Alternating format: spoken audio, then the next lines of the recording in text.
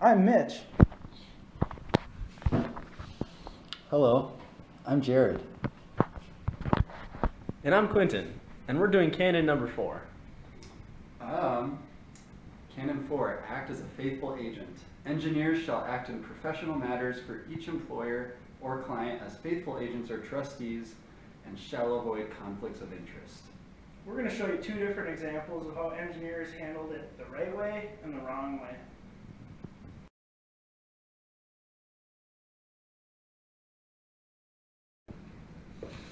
Hey, how's it going? Hi, hi, you must be Quentin? Yeah, Hi. Yep, yep, yep, I'm Jared. Nice to, nice to meet you. Thanks for coming on short notice. Yeah, no problem. I hear you got some project you want me to look over here?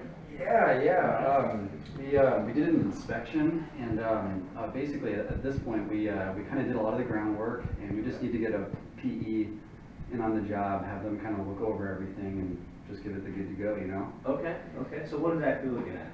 Uh, so what we did was we inspected, um, kind of like, uh, some of like the foundation soil, um, the in situ soil of a building that's already been in place.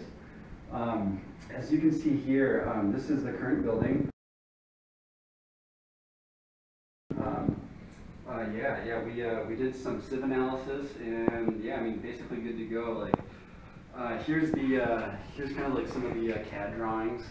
Um, uh, basic, I mean, we were given a budget of about like two hundred thousand and we were able to do it in like fifty thousand. I mean, basically all we need is somebody to just stamp on it, you know, and say like, hey, it looks good, you know?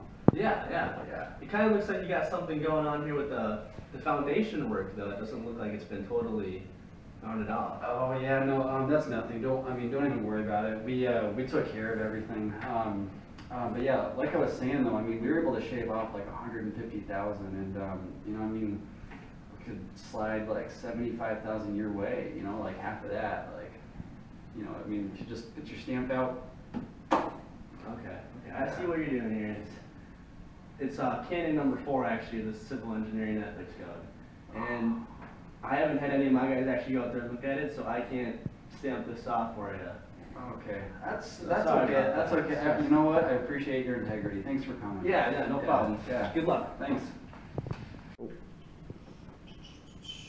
Let's see, uh, Mitch will do it. All right. Hey, Mitch. Yeah, this is, this is Jared over at Bulldog Geo Consultants. Hey, buddy, how's it going? Yeah, yeah, yeah. Uh, I'll say, I, you know, I've, uh, I've got a project that I'm working on and I got some plans that, uh, I'd like to get, I'd like to get you over here and take a look at. You have a spare lunch hour? Awesome, awesome, cool. Yeah, yeah, I'll see you in a little bit.